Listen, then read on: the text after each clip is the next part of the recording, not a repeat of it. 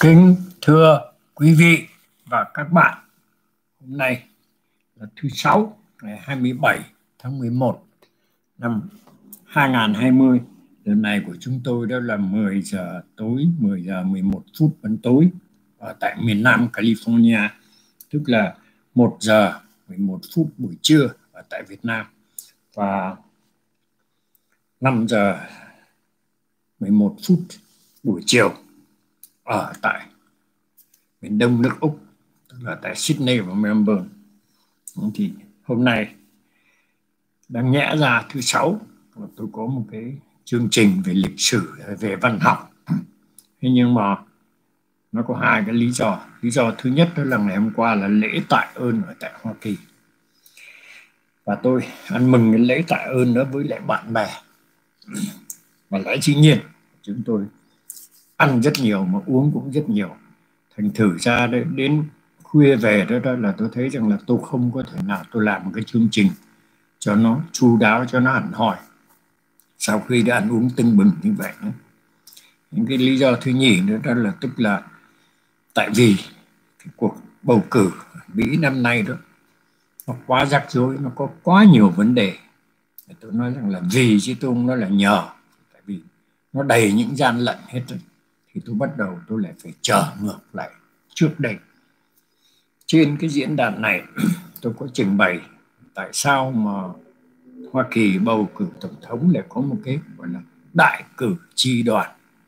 Tức là một cái cử tri đoàn có những cái người đại diện gọi là electoral college. Tôi có trình bày cái đó nhiều lần. Nhưng mà tôi nghĩ cái đề tài này nó hơi khó một chút nó khó hiểu tôi trình bày trở lại.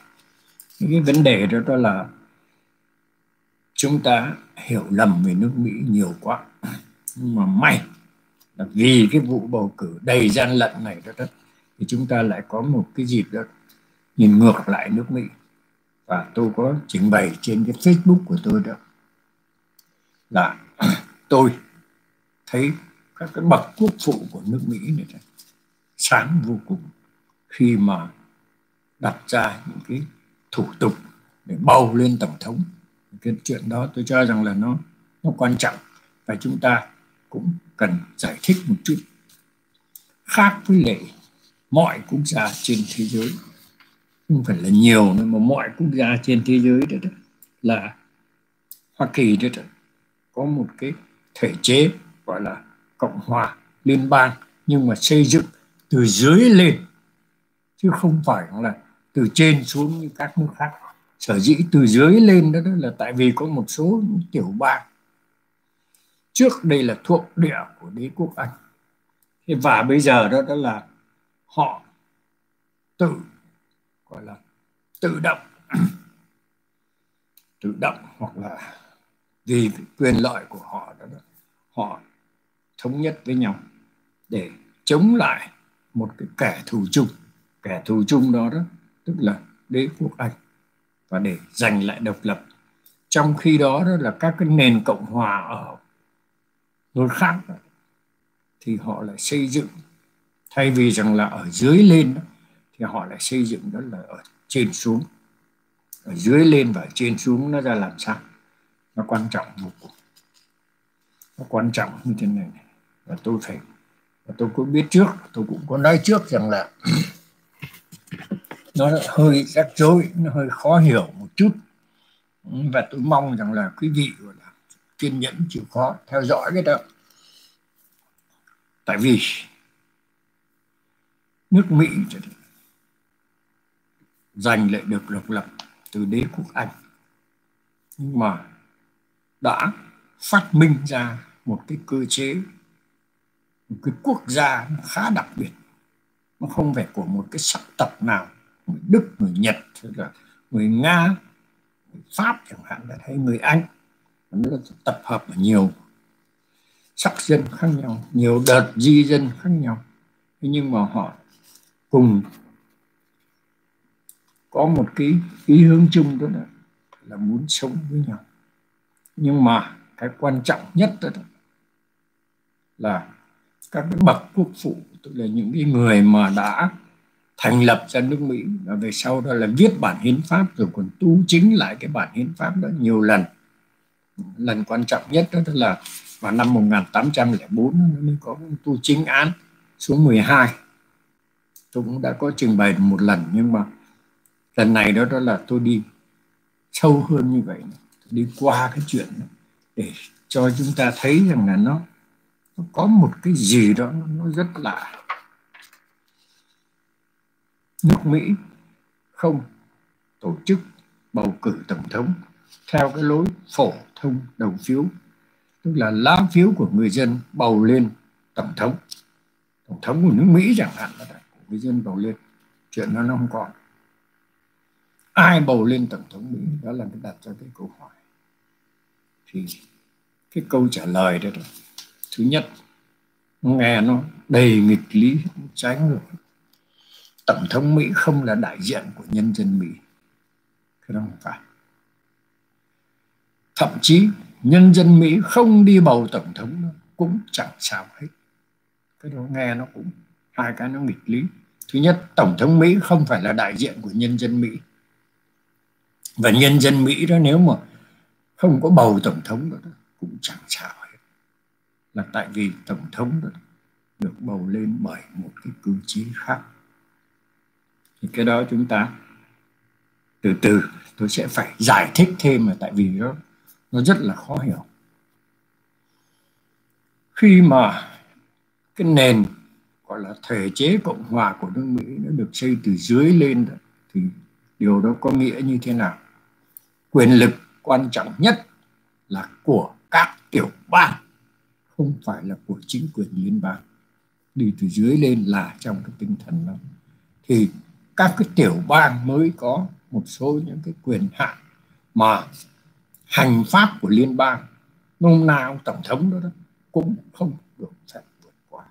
Tôi lấy thí dụ khi mà gặp những cái trận đại dịch vừa rồi chẳng hạn đó, thì tổng thống không có quyền quyết định cho các cái tiểu bang mà chỉ quyết định khi nào mà chính quyền của các cái tiểu bang đó đã yêu cầu chính quyền liên bang giúp đỡ, tổng thống không được phép. Tôi lấy thí dụ đơn giản thôi. Gửi y tá bác sĩ đến một cái tiểu bang hay là đến một cái thành phố nào đó nào đó đang bị đại dịch gọi là rất là nguy cấp, tổng thống không có được cái quyền. Cho đến khi nào mà các cái chính quyền địa phương thị trưởng của một thành phố thống đốc của một tiểu bang chẳng hạn. Hoặc là quan trọng nhất cái cơ quan lập pháp của tiểu bang đó yêu cầu. Thì lúc bây giờ đó, đó chính quyền liên bang mới được phép nhúc nhích. Tôi nhắc lại xây dựng cái nền cái thể chế cộng hòa liên bang đó xây dựng từ dưới lên quyền hạn là thuộc về các tiểu bang và các cái tiểu bang đó là nhường một số những cái trách nhiệm của mình cho chính quyền liên bang. Đặc biệt tôi lấy thí dụ như là về mặt ngoại giao chẳng hạn thì có thể là hành pháp vị trí của tổng thống đó có thể có được một số những cái quyền hạn về đối ngoại. Nhưng mà căn bản nhất đó, người dân đó, người ta bầu cho ai làm đại diện của họ. Nếu mà người dân không bầu tổng thống làm đại diện thì người dân bầu cho các cái vị dân cử ở các cái tiểu bang. Thứ nhất và dân cử các tiểu bang đó là cái cơ chế đó nó gọi là cơ chế lập pháp của tiểu bang. Cơ chế đó mới là quan trọng. Và chính cơ chế đó, đó, đó là cũng quyết định về cái số phiếu của đại cử tri đoàn. Quan trọng thứ hai đại diện cho người dân mỹ đó, có hạ viện của chính quyền liên bang gồm có 435 dân biểu của Hạ viện và tùy theo dân số của từng tiểu bang mà tiểu bang này có đông gọi là dân biểu hơn là tiểu bang kia. Cái cơ chế thứ nhì nữa mà có thể gọi là đại diện cho người dân chính là thượng viện. Và cho đến năm 1913 có một số những cái tu chính thay đổi đó, đó thì thượng viện là đại diện cho các tiểu bang. Mỗi một tiểu bang lớn nhỏ gì đó cũng có hai nghị sĩ của thượng viện. Tôi không dùng cái chữ thượng nghị sĩ thì nó dài dòng quá. Thì tôi cứ nói tắt nó là nghị sĩ chúng ta cũng để hiểu.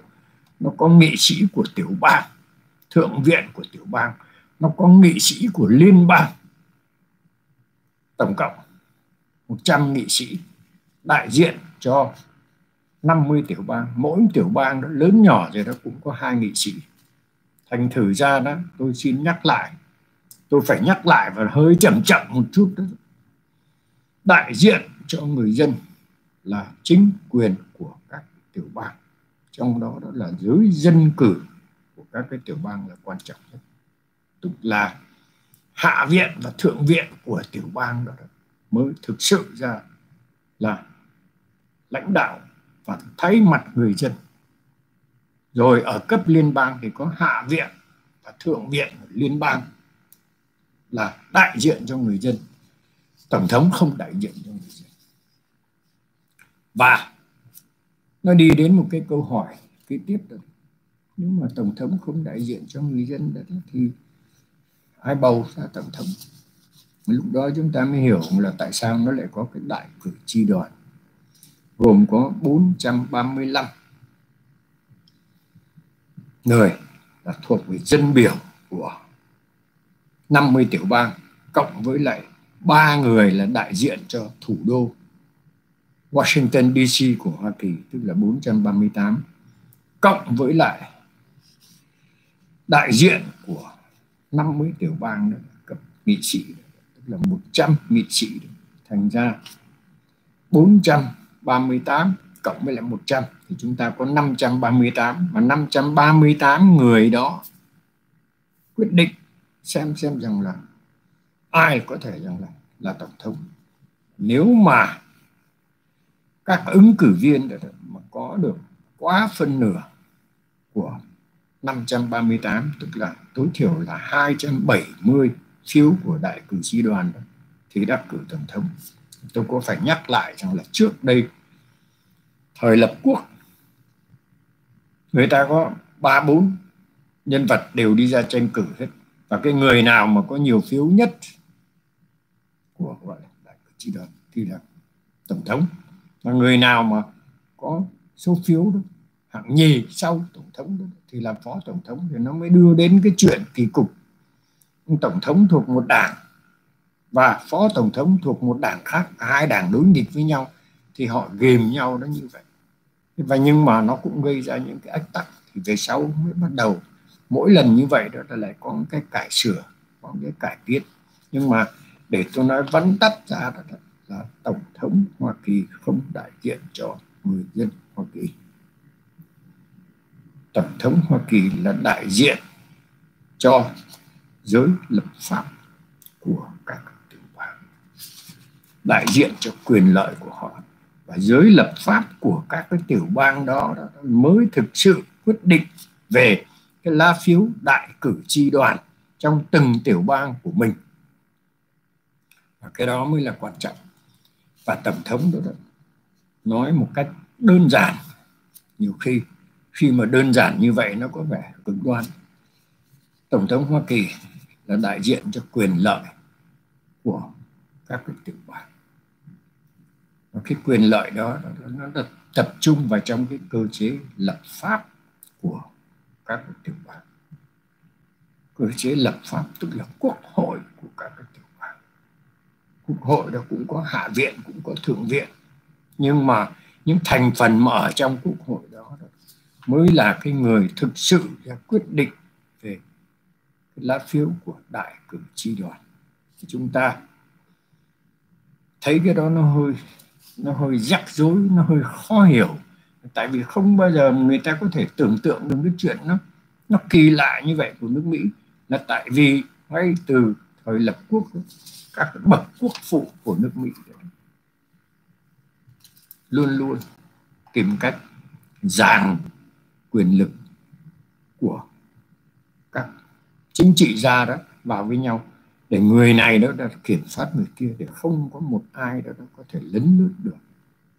Và thực tế ra đó đó các chính trị gia mà có bị ách tắc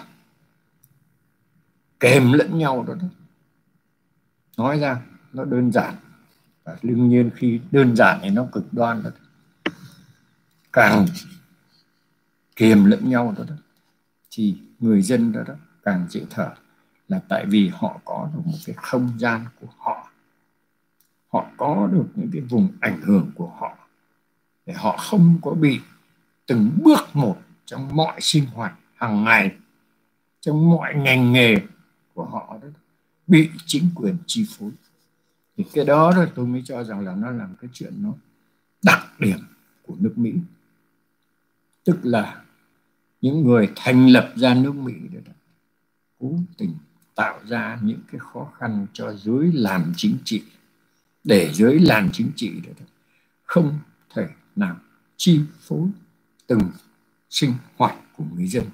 Nó khác với lại các cái nước độc tài và nó cũng khác với lại các cái nước gọi là dân chủ khác ở trên thế giới. Và mặc dù người dân bầu lên quốc hội của địa phương bầu lên quốc hội của chính quyền liên bang thì cái quốc hội đó nó, nó khác với lại các cái chế độ đại nghị của Âu Châu của Nhật Bản hay của bên Úc đó, quốc hội đó, đó mỗi lần kỳ bầu cử ra thì cái người mà lãnh đạo cái đảng đa số đó, đó là có thể rằng là nguyên thủ quốc gia tức là thủ tướng chẳng hạn đó. Hoa Kỳ đó là không cho phép quốc hội làm như vậy quốc hội cũng không có cái quyền quyết định chi phối tổng thống. Chỉ định hoặc là lật đổ chất phế một cái tổng thống chẳng hạn đó, đó qua quốc hội đó là điều nó không dễ. Trong lịch sử của nước Mỹ nó mới chỉ có hai ba lần gọi là đàn hạc một chất phế mà cũng không xong. Một lần gần đây nhất là ông Bill Clinton bị cái chuyện khai trước tòa mà khai gian về những cái quan hệ tình dục với lại một cái cô nữ gọi là nhân viên tập sự. Monica Lewinsky chẳng hạn đó, thì là bị hạ viện đàn hẳn và truy tố. Nhưng mà lên đến thượng viện đó, thì cũng không đủ lá phiếu của thượng viện. Phải là hai phần ba thì mới có thể chất phế được tổng thống. Nhưng quốc hội đó là cũng không dễ dàng gì mà chất phế được tổng thống. Trừ trường hợp mà chúng ta đã thấy năm 2016 trong suốt 4 năm liền đó, đó là tìm cách gọi là đảo chính ông Donald Trump đó là đàn thật rồi tấn công ông hết chuyện này chuyện kia thì trước cách đây mấy ngày tôi cũng đã nói đến rồi đó, tức là 4 năm kháng chiến chống Donald Trump chẳng hạn đó, đó đều là cái chuyện lếu láo tất cả nó không đi đến đâu cả thì bây giờ rất là họ phải tập trung vào cái vụ bầu cử này và đầy những cái gian lận đó. nhưng mà cũng may bậc quốc phụ đã tính trước chính trị. Và có phòng xa cái trường hợp đó. Thành thử ra đó, đó là giới làm chính trị mà có thể ăn gian về bầu cử như chúng ta đang chứng kiến bây giờ ở tại Hoa Kỳ đó. năm nay và năm 2020 đấy đó cái việc ăn gian đó, đó, đó, nó cũng không đưa đến kết quả. Không thể nào mà Joe Biden đó, đó đắc cử tổng thống. Trừ truyền thông báo chí lếu láo, cứ di ra cộng cái này cộng cái kia. Trong 50 tiểu bang thì mới chỉ có một số tiểu bang đã có kết quả mà ngã ngũ không có gây tranh cãi. Nhưng mà ở tại những cái tiểu bang đã ngã ngũ không có gây tranh cãi như vậy thì Joe Biden đã vẫn chưa chiếm được đa số. Chưa có được hơn 270 lá phiếu đại cử tri đoàn, chưa có. Nhưng mà truyền thông báo chí và cánh tả thì nói rằng là ông đã có 306 phiếu rồi. Cái đó là cái chuyện liếu lạng. Và những cái người mà không tìm hiểu, không theo dõi, như con vẹt nói theo rằng là ông Joe Biden ông đã coi như ông là tổng thống tân cử thôi. Cái điều đó nó nó sai và chính là tại vì những cái chuyện gian dối như vậy đó, nó sai lạc như vậy, thì nó mới làm cho người ta chú ý rằng là còn 6 tiểu bang ở tại Hoa Kỳ chưa có kết quả đáng có những nơi đòi đếm phiếu lại. Thí dụ như Michigan và Georgia và cả sáu tiểu bang đó là đều có những tình trạng kiện cáo. Và người ta cứ hỏi là chứng cứ đâu, chứng cứ đang được trưng ra. Nó rõ ràng như vậy, nhưng mà cái quan trọng nhất là đó là vai trò của cái cơ chế lập pháp ở sáu cái tiểu bang là họ càng ngày họ càng thấy rõ ràng rằng là có cái sự gian lận. Và cái cơ chế lập pháp đó, đó điển hình. Là ngày hôm nay ở tại Pennsylvania hạ viện của tiểu bang Pennsylvania đã đưa ra một cái dự luật một cái nghị quyết nêu ra 26 điểm. Xin lỗi 21 điểm gọi là xét rằng thế này thế này thế này. 21 điểm đó là 21 điểm tố cáo cái sự gian lận không đáng tin của cái cuộc bầu cử ở ngay tại Pennsylvania. 21 dân biểu đưa ra cái đề nghị đó. Và bây giờ đó, đó là ở Pennsylvania họ đang thảo luận cái chuyện đó có thể trong một vài ngày nữa thôi. Họ bỏ phiếu cái đó để họ nói rằng là cái kết quả bầu cử như chúng ta đã thấy hôm mùng 3 tháng 10 với đầy cái sự gian lận đó nó không chính đáng. Và vì vậy đó, chính cái cơ chế lập pháp ở tại tiểu bang Pennsylvania không phải là ông Trump. Họ bảo là không họ phủ nhận cái kết quả này.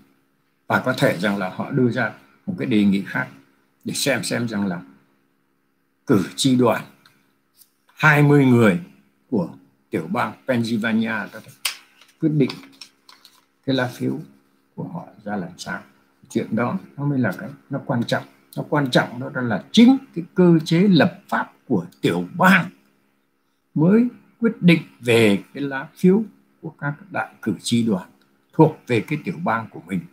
Và sau trường hợp của Pennsylvania, những trường hợp tương tự như vậy ở Michigan hay là Wisconsin là hai trong sáu cái tiểu bang đang có vấn đề đó họ tiếp tục họ thảo luận nữa và họ đang yêu cầu những cái người làm đơn tố cáo và hữu thể tức là có tuyên thệ trước tòa án.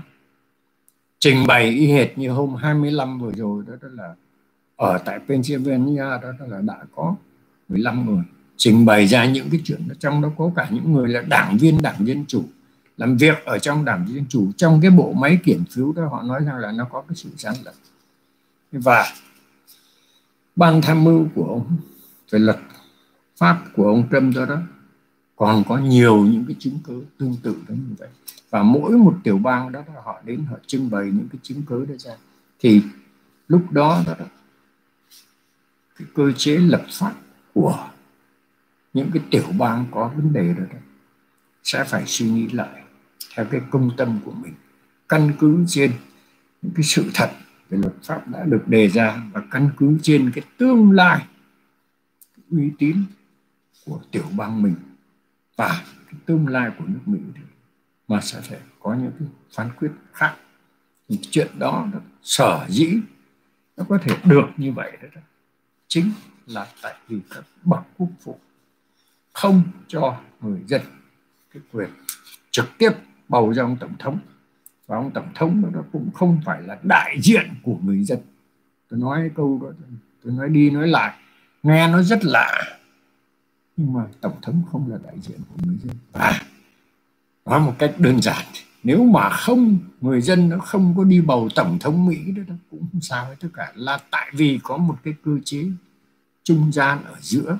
Có một lần tôi đã trình bày đó nó là cái lọc cho các bậc quốc phụ đặt ra cái cơ chế trung gian ở giữa đó là đại cử tri đoàn. Đại cử tri đoàn nó là thành phần đó đó là xuất phát từ các cái tiểu bang. Đại cử tri đoàn đó mới là quyết định để bầu lên tổng thống, không phải là người dân.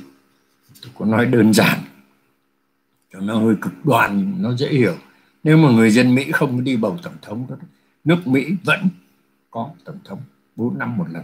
Là tại vì cái cơ chế trung gian ở giữa do người dân bỏ phiếu bầu ra đại diện cho họ tức là những cái quốc hội của tiểu bang quốc hội của liên bang thành phần đó đó, đó mới quyết định là ai sẽ là tổng thống của nước Mỹ chứ không phải là người dân. Thành ra nếu mà chúng ta không có bị cái vụ khủng hoảng về bầu cử năm nay đó là chúng ta không nhìn sâu xa hơn vào trong những cái gọi là cái bản hiến pháp rất là kỳ lạ của nước Mỹ. Và thế giới đó, đó là nhiều khi không hiểu được tại vì bản hiến pháp mỏng tang nhiều có mấy chục mấy chục cái tu chính án cái thứ đó như vậy không thôi nhưng mà nó đầy những cái lắc léo ở bên trong. Nó đầy những cái cạm bẫy ở bên trong để cho người dân đó vẫn có một cái khoảng sinh hoạt rộng lớn tự do của họ. Không có bị giới chính trị, gọi là, áp đảo, chi phối, kiểm soát. Ngược lại thì cái giới chính trị đó là cũng phải ràng buộc lẫn nhau. Thì người dân đó có một cái cơ chế đại diện cho mình. Đó là các cái chính quyền của tiểu bang, lẫn cả hạ viện và thượng viện của liên bang chẳng hạn, để họ bầu lên những cái cơ chế đó để đại diện cho họ, nhưng mà họ không bầu lên tổng thống. Và tổng thống đó là do những cái thành phần kia mới quyết định chuyện đó thì cái điều đó nó mới nó làm cái chuyện nó hơi lạ. Và tôi nói rằng là chắc là tôi còn phải nói đi nói lại. Tại vì nếu mà chúng ta chỉ có đọc báo sơ sơ không thôi đó, đó. Chỉ không hiểu được tại sao nó lại có một chuyện như thế? Tại sao nó có cái chuyện gian lận bầu cử một cách hệ thống? Rộng lớn như vậy. Dù cuối cùng là, là nó đang có 6 tiểu bang người ta không chấp nhận cái kết quả bầu cử đó. Thì người ta đang kiện cáo lẫn nhau lung tung lên từ khi đó đó ai sẽ quyết định về cái chuyện đó? Tôi mới bảo à chúng ta nhớ đến mùng 8 này đó. Thì các cái tiểu bang. Mình ngồi đếm lại xem xem là đại cử tri đoàn của mình gồm có những ai. Là mùng 8 tháng 12 sau đó đến 14 tháng 12 đó xem xem rằng là đại cử tri đoàn đó, sẽ bầu bán như thế nào. Rồi cái ngày 23 tháng 12 đó, đó thì là mới đưa lên trình lên cho phó tổng thống. Và 23 tháng 12 thì phó tổng thống là vẫn là ông Mike Pence có biết kết quả đó như vậy. Và sau đó đến với mùng 6 tháng giêng của năm tới đó, đó thì hạ viện và thượng viện của Mỹ đó, là mới coi lại kết quả đó. Để xác nhận xem xem rằng là ai là cái người mà có nhiều phiếu đại cử tri đoàn nhất. Ai có được trên 270 thì lúc bây giờ đã đến cái ngày mùng 6 tháng giêng năm tới và quốc hội vừa mới được bầu lên hôm mùng 3 tháng 11 vừa rồi đó, đó thì sẽ mãn nhiệm vào 12 giờ trưa mùng 3 tháng giêng. 2 12 giờ trưa mùng 3 tháng giêng. Và 12 giờ trưa sau 12 giờ trưa mùng 3 tháng giêng thì quốc hội mới được bầu lên đó. Hôm mùng 3 tháng 11 vừa rồi đó mới là quốc hội chính. Và lúc đó quốc hội đó, đó mới xét xem là kết quả bầu cử của cái hôm mùng 3 tháng 11 nó ra làm sao mà từ bây giờ đến đó đó, đó là nó còn bốn năm chặng như vậy và những cái sự gian lận đó, đó nó càng ngày nó càng được phơi bày rõ ràng hơn. Và nó khiến cho giới lập pháp của một số tiểu bang đã dội ngược. Họ không tưởng tượng được rằng là ở trong tiểu bang của họ đã có cái sự gian lận nó tày trời đến như vậy. Và họ đang suy nghĩ lại. Sau Pennsylvania một số những cái tiểu bang khác còn ăn gian, còn tồi tệ hơn Pennsylvania. Michigan với lại Wisconsin là hai trường hợp điển hình rồi họ cũng đang bắt đầu họ nhìn vào trong chuyện đó. Và họ mới tham khảo ý kiến. Xem xem rằng là cái tình trạng gian lận nó như thế nào. Tại sao có những cái phiếu của người chết rồi chẳng hạn? Tại sao có những cái phiếu của người mà không có cư ngụ ở tại địa phương đó, ở tại tiểu bang đó cũng đi vào trong đó? Tại sao? Có đầy những cái trường hợp như vậy cả chục trường hợp gian lận. Như là tại sao? Thí dụ như Michigan đó cả một cái hệ thống điện toán để kiểm phiếu bằng gọi là nhu liệu hoặc là bằng phần mềm đó, đó chẳng hạn đó, đó là tự nhiên bị hỏng. Rồi đến khi chạy trở lại đó đó thì là đảo ngược hết tất cả kết quả. Thay vì rằng là ông Trump đang dẫn đầu cái tự nhiên ông tụt hạt nhân phía sau trong vòng mấy tiếng đồng hồ này.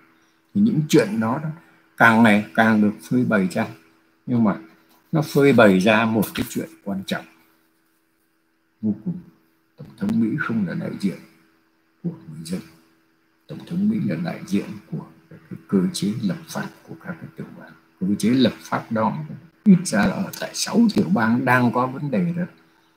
Họ lấy lại cái quyền hạn họ không chấp nhận được. Thí dụ như ở Pennsylvania cơ chế lập pháp nó không được thẩm quyền gì cả. Tự nhiên là để cho một cái gọi là tối cao pháp viện của cái tiểu bang Pennsylvania thay đổi luật lệ. Luật lệ có đúng sai có thay đổi hay không đây là cơ chế lập pháp tức là quốc hội của tiểu bang gồm có cả hạ viện lẫn thượng viện đưa ra luật lệ để cho người dân đó, đó cũng áp dụng là tại vì họ được người dân bầu lên để đại diện cho người dân ở tại chỗ đó. Thì tại sao lại tối cao pháp viện là nhảy vào trong chuyện đó tối cao pháp viện của tiểu bang tôi không nói tối cao pháp viện của liên bang chẳng hạn đâu. Những cái trường hợp nó như vậy thì nó xâm phạm vào những cái quy định của hiến pháp. Và nó gây ra cái phản ứng dội ngược. Người ta mới nói rằng là à, cái này đó, đó vi phạm vào hiến pháp vi phạm một cái tinh thần của các bậc quốc phụ đã đặt ra cho nước Mỹ. Tôi nghĩ rằng là cái điều tôi nói nó có quá nhiều nghịch lý. Tôi cứ tóm lược lại như thế này. Tổng thống Mỹ, không đại diện của người dân Mỹ. Người dân Mỹ bầu ra những cái người đại diện của mình từ tiểu bang lên đến liên bang trong quốc hội hoặc là bầu ra cái người thống đốc của tiểu bang chẳng hạn, đó là tùy theo. Mỗi một kỳ bầu cử đó thì cỡ chừng trong năm chục thống đốc thì có phần nửa, một phần ba, vân vân gì đó người dân bầu lên những cái người đại diện của họ và những cái người đại diện đó nó mới bầu lên tổng thống. Đó là một cái, nếu mà mình nói nó đơn giản thì tức là một cái chế độ gọi là gián tiếp chứ không phải trực tiếp. Quan trọng hơn chế độ nó đi từ dưới lên sức mạnh đầu tiên hết. Nó đến từ các cái tiểu bang. Và các cái tiểu bang đó đó là nhường lại một số những cái quyền hạn của mình cho chính quyền liên bang. Và sau đó đó thì nó mới có đến vai trò của ông tổng thống. Tôi có nói ngay từ đầu tôi phải rằng là giờ có chuyện này, chuyện kia, đó là tổng thống mỹ, đó là không có quyền trực tiếp can thiệp vào các tiểu bang. Cho đến khi nào mà thống đốc là thị trưởng của các cái thành phố, các cái tiểu bang đó yêu cầu hay là cho phép tổng thống mỹ mới được phép chứ không phải rằng là có muốn làm gì cũng được thì chuyện đó nó mới quan trọng. Nhưng mà quan trọng nhất là tổng thống là đại diện cho quyền lợi của các cơ chế lập pháp ở tại các cái tiểu bang. Tại vì chính cái cơ chế lập pháp của các cái tiểu bang đó mới quyết định về cái lá phiếu của đại cử tri đoàn để bầu lên tổng thống. Thành ra cái câu hỏi tôi nêu lên trong cái tựa đề đó là ai bầu lên tổng thống mỹ đó thì tôi nghĩ rằng là trong hơn nửa tiếng đồng hồ vừa rồi đó, đó tôi trình bày đó đó là cố gắng trình bày cho nó gãy gọn để quý vị có thể hiểu được cái chuyện đó. Và tôi nghĩ rằng là chúng ta sẽ còn phải đề cập đến cái chuyện này nhiều lần nữa. Tùy theo diễn tiến của cái tình hình từ hôm mùng 3 tháng 11 vừa rồi, hôm nay là 27 tháng 11 rồi cãi cọ lung tung lên, kiện cáo lung tung lên hết tất cả. Nhưng mà dần dần đó thôi, người ta bắt đầu người ta thấy ra cái chiều hướng nó ngã nó như thế nào. Và lúc đó mới thấy khâm phục các cái bậc quốc phụ của nước Mỹ họ đã họ không tiên đoán trong chi tiết từng chuyện một nhưng mà họ đã dự trù rằng là cái tính xấu của con người nhất là của giới chính trị nó sẽ dẫn đến nhiều trường hợp rắc rối đó. Và vì vậy đó, đó là họ chặn trước. Họ chặn trước cái đó. Và bây giờ chúng ta mới thấy rằng là cái sự sáng suốt của bậc quốc phụ của Mỹ ngay từ thời lập quốc thì thí dụ 1776 hay 1789 thì cho đến những cái cuộc bầu cử. Đầu tiên của thế kỷ thứ 19 đến năm 1804 đừng cãi cọ lung tung thì mỗi lần như vậy đó, đó thì họ lại sửa một chút sửa một chút dần dần cho đến cái sau này. Giống như mãi đến năm 1913 nó có cái tu chính ván là là thượng viện. Với là do người dân bầu lên đó, đó là đại diện thượng diện của chính quyền liên bang đó chứ trước đó, đó, là cũng không có hẳn là như vậy nhưng mà họ cải tiến dần dần ở trong cái sự cải tiến đó đó rõ ràng rằng là họ không tin vào giới chính trị gia chính khách họ tìm cách giảng lại với nhau. Và chính là nhờ cái đó đó chúng ta mới đưa đi đến cái kết luận đó không phải là người dân Mỹ bầu lên tổng thống và ông tổng thống của Hoa Kỳ đó, đó cũng phải là đại biểu đại diện của người dân. Và người dân có thể không bầu lên tổng thống cũng chẳng sao hết cả. Tại vì cái cơ chế khác bầu lên tổng thống, đó mới là chuyện mà nó nó hơi rắc rối, nó hơi bất ngờ. Và nó gần như là duy nhất trên thế giới. Tôi mong rằng là quý vị và các bạn phần nào hiểu được những chuyện mà nó quá rắc rối đó như vậy hết cả. Và có thể rằng là trong những ngày tới, chúng ta sẽ còn phải tiếp tục đề cập đến cái chuyện này. Xin cảm ơn cái sự chờ đợi của quý vị và các bạn.